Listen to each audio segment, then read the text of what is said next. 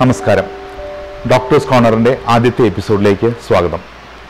ഇന്ന് ഞാൻ നിങ്ങളോട് സംസാരിക്കാൻ പോകുന്നത് നമുക്കെല്ലാവർക്കും വളരെ സുപരിചിതമായ അൾസർ എന്ന അസുഖത്തെക്കുറിച്ചാണ്.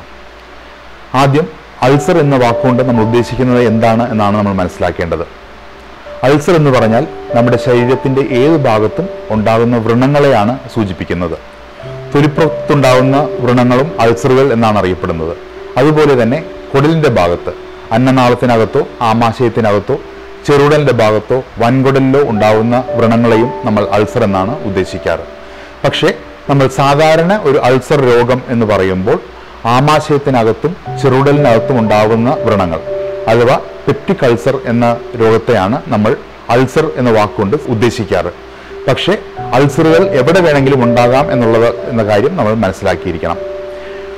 വായിക്കകത്തുണ്ടാകുന്ന അൾസറുകളെ ഓറൽ അൾസേഴ്സ് എന്നും അന്നനാളത്തിലുണ്ടാകുന്ന അൾസറുകളെ ഈസോവിജൽ അൾസറുകൾ എന്നും ആമാശയത്തിനകത്തുണ്ടാകുന്ന അൾസറുകളെ ഗ്യാസ്ട്രിക് അൾസർ എന്നും ചെറുടലിന്റെ ആദ്യ ഭാഗത്തുണ്ടാകുന്ന അൾസറുകളെ ഡുവോഡനൽ അൾസർ എന്നും വൻകുടലുണ്ടാകുന്ന അൾസറുകളെ കൊളോണിക് അൾസേഴ്സ് എന്നുമാണ് നമ്മൾ വിളിക്കാറ്. ഈ ഓരോ ഭാഗത്തും ഉണ്ടാകുന്ന അൾസറുകൾ ഓരോ കാരണങ്ങൾ കൊണ്ട് ഉണ്ടാകുന്നതാണ്. ഉദാഹരണത്തിന് വായിലുണ്ടാകുന്ന വെളുത്ത വട്ടത്തിൽ കാണുന്ന പുണ്ണുകൾ നമ്മൾ ആർത്ത് സൾഫർ എന്നാണ് വിളിക്കാറ്. അത് ചിലരുടെ ശരീരപ്രകൃതിയാണ്. അത് വയറ്റിലെ പുണ്ണിന്റെ ഭാഗമായിട്ട് ഉണ്ടാകുന്ന ഒരു അൾസർ അല്ല.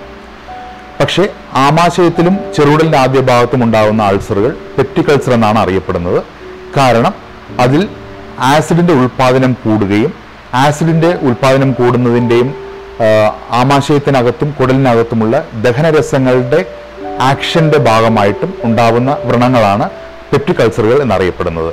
അതുപോലെ തന്നെ ക്യാൻസറുകൾ പോലെയുള്ള അസുഖങ്ങളും അൾസറുകളായിട്ടാണ് ആദ്യം കാണപ്പെടാറ്. കൊള്ളിന്റെ ഏത് ഭാഗത്തും വ്രണങ്ങൾ ഉണ്ടാവുകയും അത് ബയോപ്സി എടുക്കുമ്പോൾ ക്യാൻസർ ആണ് എന്ന് നമ്മൾ തിരിച്ചറിയുകയും ചെയ്യുന്നു. അപ്പോൾ നമ്മൾ മനസ്സിലാക്കേണ്ട ഒരു സംഗതി അൾസറുകൾ മൂത്ത് ക്യാൻസർ ആവുക എന്നുള്ളതല്ല ക്യാൻസറുകളാണെന്നുണ്ടെങ്കിൽ ആ വ്രണങ്ങൾ ആദ്യം മുതലേ ക്യാൻസറിന്റെ ചേഞ്ചസ് കാണിക്കും എന്നുള്ളതാണ്. അല്ലാതെ പെപ്റ്റിക് അൾസർ കൂടി ക്യാൻസറായി മാറുന്ന ഒരു പ്രതിഭാസമുണ്ട് എന്ന് പലരും തെറ്റിദ്ധരിക്കാറുണ്ട്. അത് ശരിയല്ല. അതുപോലെ തന്നെ ക്രോൺസ് ഡിസീസ് എന്ന് പറയുന്ന അസുഖത്തിലും കൊള്ളിന്റെ ഏത് ഭാഗത്ത് വേണമെങ്കിലും അൾസറുകൾ ഉണ്ടാവാം. ചില മരുന്നുകളുടെ ഭാഗമായിട്ടും അൾസറുകൾ ഉണ്ടാവാം. അപ്പോൾ ഇന്ന് ഞാൻ നിങ്ങളോട് സംസാരിക്കാൻ പോകുന്നത് പെപ്റ്റിക് അൾസർ എന്ന് പറയുന്ന അസുഖത്തെക്കുറിച്ച് മാത്രമാണ്. അസിഡിറ്റി കൂടുകയും ദഹനരസങ്ങളുടെ ആക്ഷന്റെ ഭാഗമായിട്ടും ആമാശയത്തിലും ചെറുകുടലിന്റെ ആദ്യ ഭാഗത്തും ഉണ്ടാകുന്ന അൾസറുകളാണ് പെപ്റ്റിക് അൾസറുകൾ. നമ്മുടെ കുടലിന്റെ എല്ലാ ഭാഗങ്ങളിലും ഒരു മ്യൂക്കസ് മെംബ്രെയിൻ ഉണ്ട് ഒരു പാടയുണ്ട്. അതിനു മുകളിൽ മ്യൂക്കസ് അതായത് ഒരു ചെറിയ ഒട്ടൽ പോലെയുള്ള സ്ലൈമി ആയിട്ടുള്ള ഒരു സബ്സ്റ്റൻസ് നമ്മുടെ ഈ മ്യൂക്കോസിനെ കവർ ചെയ്തുകൊണ്ട് നമ്മുടെ കുടലിനകത്തുള്ള മ്യൂക്കോസ് പ്രൊട്ടക്റ്റ് ചെയ്യുന്നു. ഈ മ്യൂക്കസിൽ ഡാമേജ് വരിക എന്നുള്ളതാണ് ആദ്യത്തെ അൾസറിന്റെ തുടക്കം. അപ്പോൾ ഈ ഡാമേജ് വരാൻ പല കാരണങ്ങളുണ്ട്. പല മരുന്നുകളുടെ ഭാഗമായിട്ട് നമ്മൾ കഴിക്കുന്ന വേദനയ്ക്ക് ഉപയോഗിക്കുന്ന പല മരുന്നുകൾ വേദന സംഹാരികൾ പ്രത്യേകിച്ച് ബ്രൂഫൻ നാപ്രോക്സൻ അസിക്ലോഫിനാക് മുതലായ മരുന്നുകൾ ഈ മ്യൂക്കസ് ലെയറിനെ ഡാമേജ് ചെയ്യുകയും നമ്മുടെ കുടലിനെ കവർ ചെയ്യുന്ന മ്യൂക്കസ് മെംബ്രെയിനിൽ മുറിവുകൾ ഉണ്ടാക്കുകയും ചെയ്യുന്നു. ഈ മുറിവുകൾ വെളു വലുതായിട്ടാണ് അൾസറുകളായി മാറുക. അതുപോലെ തന്നെ ഹാർട്ട് പേഷ്യൻസും സ്ട്രോക്ക് പോലുള്ള അസുഖങ്ങൾ ഉണ്ടായിട്ടുള്ള ആളുകളും രക്തം കട്ടപിടിക്കാതിരിക്കാൻ രക്തം നേർമയാക്കുന്ന ആസ്പിരിൻ പോലെയുള്ള ഗുളികകൾ കഴിക്കാറുണ്ട്. ഈ ആസ്പിരിൻ ഗുളികകളും ആമാശയത്തിനകത്തുള്ള പാടയിൽ ഡാമേജ് ഉണ്ടാക്കുകയും വ്രണങ്ങൾ ഉണ്ടാക്കുകയും ചെയ്യുന്നു. ഇതോടൊപ്പം തന്നെ നമുക്കെല്ലാവർക്കും സുപരിചിതമായ എച്ച് പൈലോറി എന്ന് പറയുന്ന ബാക്ടീരിയയും അൾസറുകൾക്ക് കാരണമാകുന്നു. ഈ ബാക്ടീരിയകൾ വെള്ളത്തിലൂടെയും നമ്മൾ കഴിക്കുന്ന ഭക്ഷണത്തിലൂടെയും ആമാശയത്തിലെത്തുകയും ആമാശയത്തിന്റെ അകത്തുള്ള മ്യൂക്കസിൽ അത് പെരുകുകയും അവ ആമാശയത്തിനകത്ത് നീർക്കെട്ടുണ്ടാക്കുകയും ഈ നീർക്കെട്ട് കാലക്രമേണ അൾസറുകളായി മാറുകയും ചെയ്യുന്നു. ഹെലിക്കോബാക്ടർ പൈലറി ആമാശയത്തിനകത്തും അതായത് ഗ്യാസ്ട്രിക് അൾസറുകളും ഉണ്ടാക്കാറുണ്ട്. ചെറുകളുടെ ആദ്യ ഭാഗത്തുണ്ടാകുന്ന ഡൂഡൽ അൾസറുകളും ഉണ്ടാക്കാറുണ്ട്. അടുത്തതായി നമ്മൾ അറിയേണ്ടത് അൾസറിന്റെ രോഗലക്ഷണങ്ങൾ എന്തൊക്കെയാണ് എന്നുള്ളതാണ്. രോഗലക്ഷണങ്ങൾ ചിലപ്പോൾ ചില രോഗികളിൽ യാതൊരു രോഗലക്ഷണങ്ങളും ഉണ്ടാകാറില്ല എന്നുള്ളത് സത്യമാണ്. പക്ഷേ മിക്ക രോഗികളിലും വയറിനകത്തുണ്ടാകുന്ന എരിച്ചിൽ പുകച്ചിൽ ചിലർക്ക് ഒരു മനംപുരട്ടൽ ഛർദി മുതലായ രോഗ രോഗലക്ഷണങ്ങളാണ് കാണാറ്. അൾസറിന്റെ കോംപ്ലിക്കേഷന്റെ ഭാഗമായിട്ട് രക്തസ്രാവം ഉണ്ടാവുകയാണെന്നുണ്ടെങ്കിൽ രക്തം ഛർദിക്കുകയോ മലം കറുത്തു പോകുന്ന ഒരു അവസ്ഥയോ ഉണ്ടാകാറുമുണ്ട്.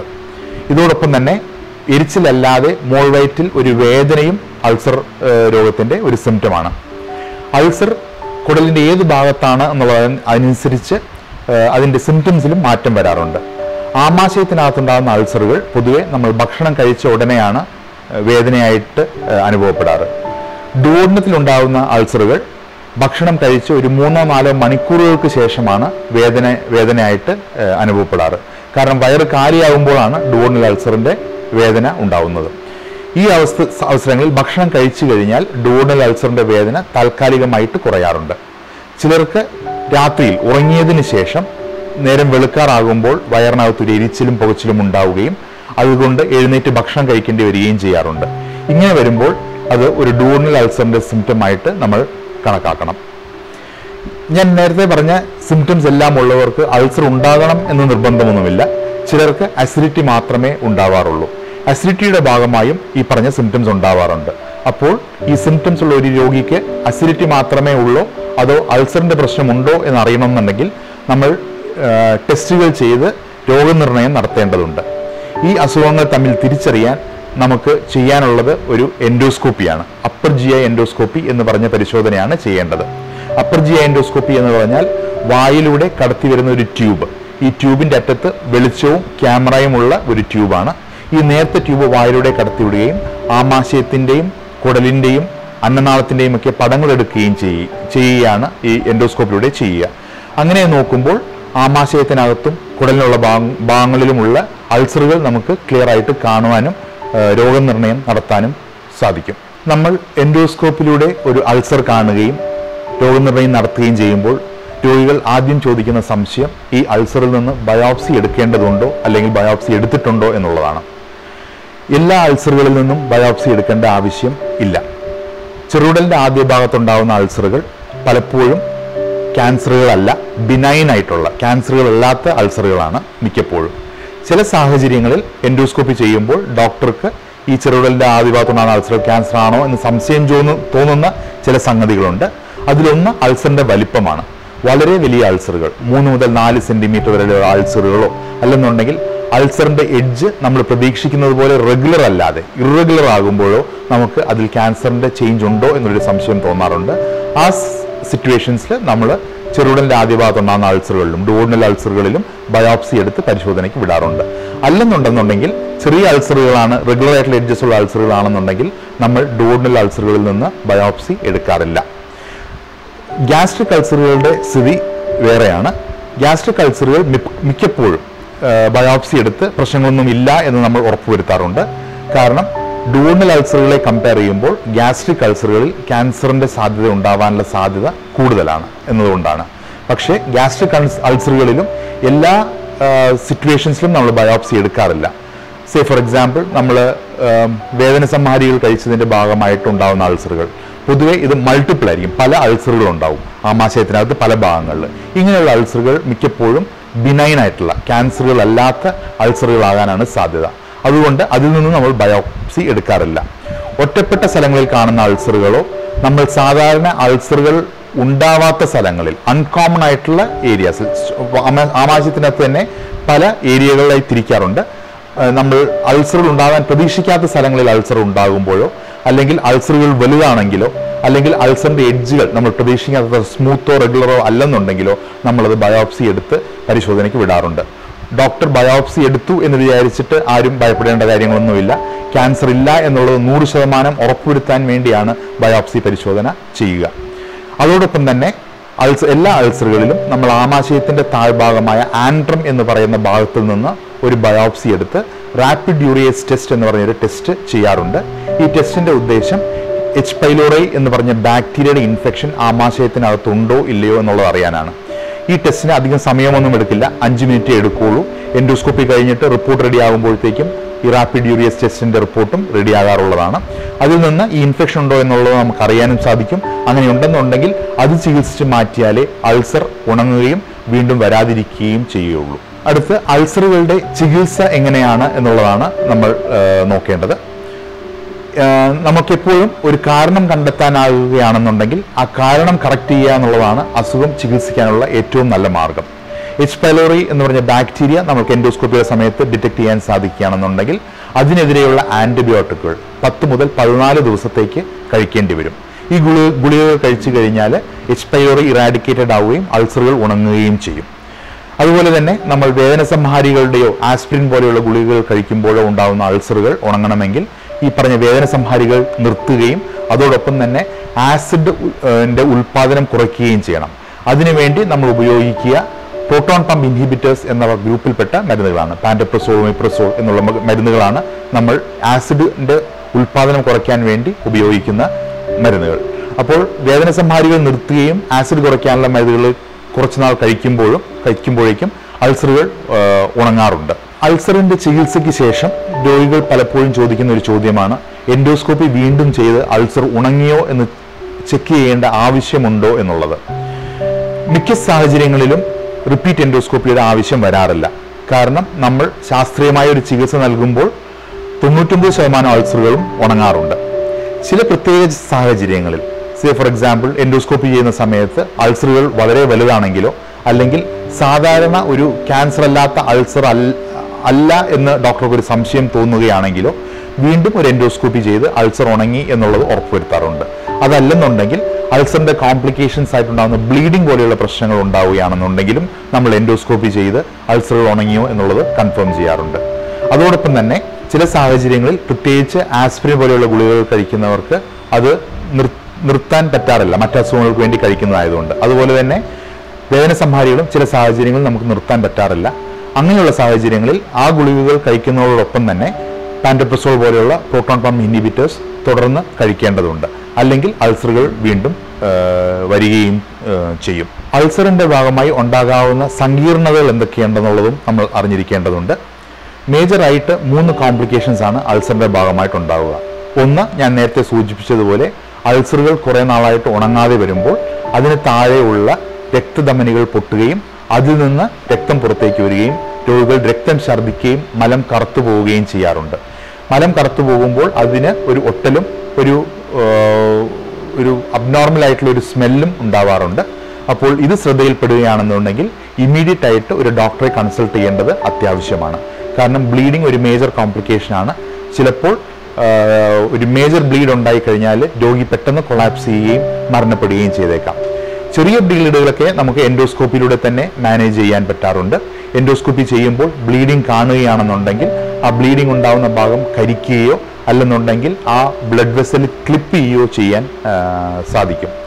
മറ്റൊരു കോംപ്ലിക്കേഷൻ അൾസറുകൾ കുറേ നാളായിട്ട് ഉണങ്ങാതെ ഇരിക്കുമ്പോൾ അൾസറുകൾ ഉള്ള ഭാഗം ചുരുങ്ങുകയും കുടലിന്റെ ആമാശയത്തിൽ നിന്ന് കുടലിനകത്തേക്ക് ഇറങ്ങുന്ന ഭാഗത്ത് തടസ്സമുണ്ടാവുകയും ചെയ്യും. അതിന്റെ ഭാഗമായിട്ട് നമ്മൾ കഴിക്കുന്ന ഭക്ഷണം ആമാശയത്തിൽ നിന്ന് കുടലിലേക്ക് ഇറങ്ങാതെ വരികയും ഛർദി ഉണ്ടാവാറുമുണ്ട്. ഈ ഛർദിയുടെ പ്രത്യേകത രോഗികൾ ഛർദ്ദിക്കുമ്പോൾ ദഹിക്കാത്ത ഭക്ഷണം തലേ ദിവസമോ അതിന് മുന്നത്തെ ദിവസമോ കഴിച്ച ഭക്ഷണം ദഹിക്കാതെയാണ് ഛർദ്ദിക്കുക ഇതിനെ നമ്മൾ സ്റ്റേൽ ഫുഡ് വൊമിറ്റസ് എന്നാണ് പറയാറ്. ഇങ്ങനെയുള്ളൊരു സിംറ്റം ഉണ്ടെന്നുണ്ടെങ്കിൽ അതിന്റെ അർത്ഥം ആമാശയത്തിൽ നിന്ന് കുടലിലേക്ക് ഇറങ്ങുന്ന ഭാഗത്ത് അൾസറിന്റെ ഭാഗമായിട്ട് തടസ്സമുണ്ടായിട്ടുണ്ട് എന്നുള്ളതാണ്. അങ്ങനെ ഉണ്ടെന്നുണ്ടെങ്കിൽ നമ്മൾ ഡോക്ടറിനെ കൺസൾട്ട് ചെയ്യുകയും അത് എൻഡോസ്കോപ്പിലൂടെ തന്നെ പലപ്പോഴും നമുക്കൊരു ബലൂൺ ഇട്ട് ഡയലേറ്റ് ചെയ്യാൻ പറ്റുകയും ചെയ്യാറുണ്ട്.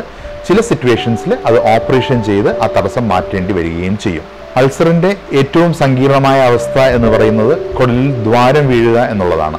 അൾസറുകൾ വലുതാവുകയും ആമാശയത്തിന്റെയും കുടലിന്റെയും ഭാഗങ്ങളിൽ സുഷിരങ്ങൾ ഉണ്ടാവുകയും ചെയ്യുമ്പോൾ ആമാശയത്തിലും കുടലിലും ഉണ്ടാവുന്ന ദഹനരസങ്ങളും ആസിഡും കുടലിന് പുറത്തേക്ക് ചെല്ലുകയും പെരിട്രോണൈറ്റിസ് എന്ന് പറഞ്ഞ അതിഗുരുതരമായ രോഗാവസ്ഥയിലേക്ക് ചെന്നെത്തുകയും ചെയ്യും. ഇതിന്റെ ഭാഗമായിട്ട് രോഗിക്ക് കഠിനമായ വയറുവേദനയാണ് അനുഭവപ്പെടാറ്. അങ്ങനെ ഉണ്ടാവുകയാണെങ്കിൽ ഇമ്മീഡിയറ്റ് ആയിട്ട് ഡോക്ടറെ സമീപിക്കുകയും ശസ്ത്രക്രിയയിലൂടെ മാത്രമേ നമുക്കൊരു പെർഫറേഷൻ ക്ലോസ് ചെയ്യാൻ സാധിക്കുകയും ചെയ്യുള്ളൂ. ഈ സുഷിരങ്ങളോ ദ്വാരങ്ങളോ നമ്മൾ ക്ലോസ് ചെയ്തില്ലെങ്കിൽ രോഗി മരണപ്പെടുകയും ചെയ്യും. അൾസർ ഉള്ള രോഗികൾ അത് മൂർച്ഛിക്കാതിരിക്കാനും മറ്റുള്ളവർ അൾസർ വരാതിരിക്കാൻ എന്തൊക്കെ മുൻകരുതലാണ് എടുക്കേണ്ടത് എന്നുള്ളതും പ്രധാനമാണ്. അതിൽ അതിനായി ജീവിതശൈലിയിൽ വരുത്തേണ്ട മാറ്റങ്ങളെക്കുറിച്ചും നമ്മൾ അറിഞ്ഞിരിക്കേണ്ടതുണ്ട്. അതിൽ ഏറ്റവും പ്രധാനം പുകവലിയാണ്. പുകവലി കൊണ്ട് അൾസർ ഉണ്ടാകുമോ എന്ന് ചോദിച്ചാൽ ഇല്ല എന്നാണ് ഉത്തരം. പക്ഷേ അൾസർ ഉള്ള ഒരു രോഗി പുകവലിക്കുകയാണെന്നുണ്ടെങ്കിൽ അൾസർ ഉണങ്ങാതെ വരികയും നമ്മൾ മരുന്ന് കൊണ്ട് ചിലപ്പോൾ ഫലമില്ലാതെ വരികയും ചെയ്യും. അപ്പോൾ അൾസർ ഉള്ള രോഗികൾ തീർച്ചയായും പുകവലി നിർത്തേണ്ടതുണ്ട്. മദ്യപാനവും അൾസറും തമ്മിൽ വലിയ ബന്ധമൊന്നുമില്ല. എങ്കിലും അതിന്റെ അർത്ഥം മദ്യപിക്കാമെന്നുള്ളതല്ല. അൾസറും മദ്യപാനവുമായി ബന്ധമില്ല എന്ന് മാത്രമേ ഞാൻ ഉദ്ദേശിച്ചുള്ളൂ. മദ്യപിക്കുന്നത് കൊണ്ട് അൾസർ ഉണ്ടാവുകയോ അത് ഉറങ്ങുന്നതിലോ മാറ്റങ്ങളൊന്നും ഉണ്ടാവാറില്ല. അപ്പോൾ അൾസറും മദ്യപാനവും നേരിട്ട് ബന്ധമില്ല എന്നേ ഉദ്ദേശിച്ചുള്ളൂ. മൂന്നാമത് രോഗികൾക്ക് എപ്പോഴുമുള്ള സംശയം എന്തൊക്കെ ഭക്ഷണങ്ങൾ ഒഴിവാക്കണം എന്നുള്ളതാണ്. എരിവുള്ള സാധനങ്ങൾ കഴിക്കാമോ പുളിയുള്ള സാധനങ്ങൾ കഴിക്കാമോ എന്നുള്ളതാണ് ഏറ്റവും പ്രധാനപ്പെട്ട സംശയം. ഭക്ഷണവും അൾസർ ഉണ്ടാകുന്നതോ അൾസർ ഉണങ്ങുന്നതോ ആയി യാതൊരു ബന്ധവുമില്ല. നമ്മൾ എരിവുള്ള സാധനങ്ങൾ അച്ചാർ പോലുള്ള സാധനങ്ങൾ കഴിച്ചാലും അൾസർ ഉണ്ടാവാറില്ല. അത് കഴിക്കുന്നതുകൊണ്ട് അൾസർ ഉണങ്ങാതെ വരികയുമില്ല. പക്ഷേ അൾസറുള്ള രോഗികൾ എരിവുള്ള സാധനങ്ങൾ കഴിച്ചാൽ അത് ഈ വ്രണങ്ങളിൽ ചെന്ന് തട്ടുമ്പോൾ ചെറിയ ഒരു എരിച്ചിലും പുകച്ചിലും വേദനയും ഉണ്ടാവാറുണ്ട്. അപ്പോൾ രോഗമുള്ള ആളുകൾ തൽക്കാലത്തേക്ക് അൾസർ ഉണങ്ങുന്നത് വരെ എരിവുള്ള സാധനങ്ങൾ ഒഴിവാക്കുന്നതായിരിക്കും നന്നാവുക. സിംറ്റംസ് കുറയ്ക്കുക എന്നുള്ളതാണ് അതുകൊണ്ടുള്ള ഉദ്ദേശം. അല്ലാതെ അൾസർ ഉണങ്ങുന്നതോ അൾസർ ഉണ്ടാകുന്നതോ തമ്മിൽ എരിവുള്ള ഭക്ഷണവുമായി യാതൊരു ബന്ധവും ഇല്ല. പിന്നെ നമ്മളൊന്ന് ശ്രദ്ധിക്കാനുള്ളത് വേദന സംഹാരികൾ പരമാവധി ഒഴിവാക്കുക എന്നുള്ളതാണ്. വേദന സംഹാരികൾ ഒഴിവാക്കിയിൽ ഒഴിവാക്കുകയാണെങ്കിൽ മിക്ക അൾസറുകളും നമുക്ക് പ്രതിരോധിക്കാൻ സാധിക്കും. അതുപോലെ തന്നെ അൾസറുകൾ അസിഡിറ്റിയുടെ പ്രശ്നമുള്ളവർ ആ, വേദന സംഹാരികൾ കഴിക്കുമ്പോൾ ഡോക്ടറെ അത് മുൻകൂട്ടി അറിയിക്കേണ്ടതാണ്. അസിഡിറ്റിക്കുള്ള മരുന്നുകളും അതിന്റെ കൂടെ കഴിച്ചാൽ ഒരു പരിധിവരെ അൾസറുകൾ ഉണ്ടാവുന്നത് നമുക്ക് പ്രിവെന്റ് ചെയ്യാൻ സാധിക്കും. ഇന്ന് ഞാൻ നിങ്ങളോട് സംസാരിച്ച അൾസറുകളെ കുറിച്ചുള്ള അറിവ് നിങ്ങൾക്ക് ഉപകാരപ്രദമായിരുന്നു എന്ന് ഞാൻ വിശ്വസിക്കുന്നു. ഇതിനെക്കുറിച്ചുള്ള നിങ്ങളുടെ അഭിപ്രായങ്ങളും കമൻസും താഴെയുള്ള കമന്റ് ബോക്സിൽ അറിയിക്കുക. അതിനുള്ള മറുപടി ഞാൻ നിങ്ങൾക്ക് നൽകുന്നതായിരിക്കും. ഇതുപോലുള്ള ആരോഗ്യ സംബന്ധമായ മറ്റ് വീഡിയോകൾക്കായി ഞങ്ങളുടെ ഡോക്ടേഴ്സ് കോർണർ എന്ന ചാനൽ സബ്സ്ക്രൈബ് ചെയ്യുക.